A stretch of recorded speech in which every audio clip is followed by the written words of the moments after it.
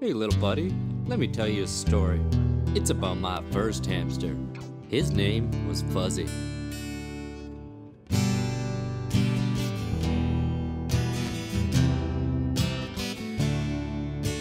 Fuzzy was a hamster. Fuzzy loved corn and seeds. Fuzzy, my special hamster, the only hamster I'll ever need. Fuzzy, my little hamster, loved to run through the tall grass. Fuzzy, my special hamster, did so tightly up my ass.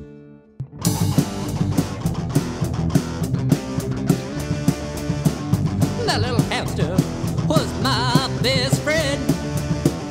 Kept me smiling right until the end. His tiny paws and fluffy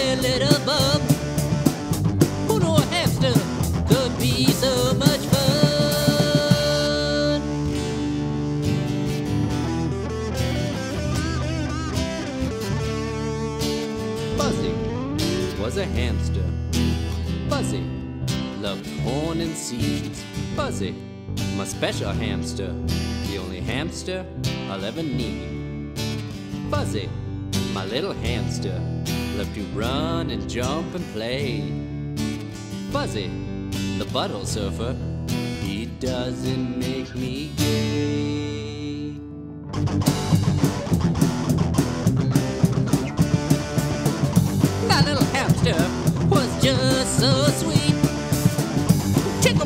With his tiny little feet. My loving hamster had such a big heart. Wouldn't even mind me when I was fine.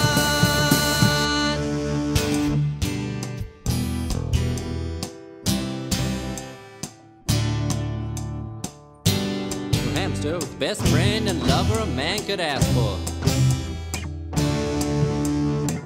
So caring and giving and willing to experiment with any number of silicone rubber devices.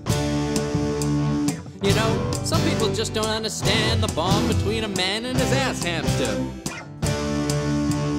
I mean, the term fits like a glove, it doesn't even cut it anymore. But it's more than that. It's like learning a beautiful new language. A language of bestiality and horrendous anal tearing, mind you, but still beautiful. In fact, you think that after the first round of screaming and bleeding and whatnot that you should quit. But you can't quit. It just gets so, so much better each time. It's like a swollen, blistered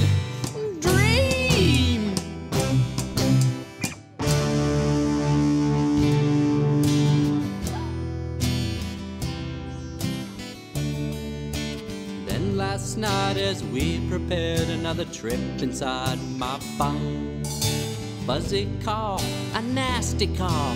I knew it's the brown lung. I told him we could skip tonight. He squeaked that he was fine. With a tear in his eye, he waved goodbye to please me one last time. Oh, fuzzy, fuzzy, fuzzy, fuzzy, fuzzy, fuzzy, fuzzy, fuzzy, fuzzy, fuzzy, fuzzy, fuzzy, yeah,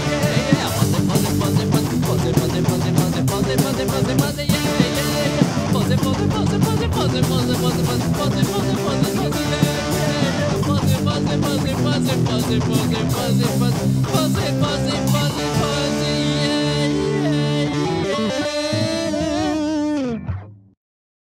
think I'll call you Fuzzy Junior.